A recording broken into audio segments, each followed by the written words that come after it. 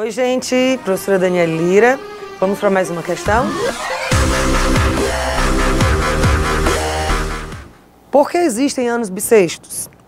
Eles foram instituídos porque cada ano não tem 365 dias exatos. Na verdade, o período em que a Terra completa uma volta em torno do Sol é de 365 dias e 6 horas.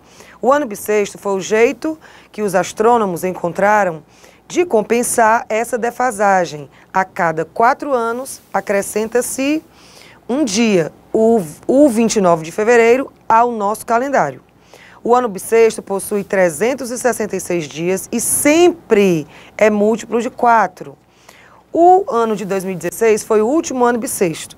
Porém, há casos especiais é, de anos que, apesar de múltiplos de 4, não são bissextos, pois não são bissextos, são aqueles que também são múltiplos de 100 e não são múltiplos de 400.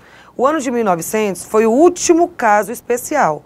Bom, gente, 1900, como ele fala, termina em 00, porém não é, não é bissexto, porque 1900 é múltiplo de 100, mas não de 400. Então ele é aquele caso especial. O nosso objetivo é encontrar o próximo caso especial que, apesar de terminar em 00, ser múltiplo de 100, não é bissexto, porque não vai ser múltiplo de 400.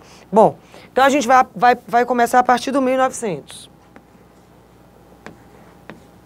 Se ele é múltiplo de 100, então vou acrescentar mais 100. O próximo ano seria o ano 2000. 2000 é, termina em 00, múltiplo de 4. É múltiplo de 100 e é múltiplo de 400. Então não é esse o caso que a gente procura, tá? Acrescentando mais 100, visto que ele é múltiplo de 100, próximo ano encontrado seria 2100. 2100 termina em 00, ok, múltiplo de 4. Múltiplo de 100, porém não é múltiplo de 400. Então esse é o caso que a gente está procurando. E a questão pede a soma dos algarismos do próximo ano, que será o caso especial. 2100 é o próximo caso especial. Somando os algarismos,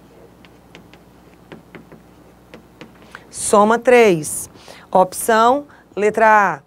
Até a próxima, gente.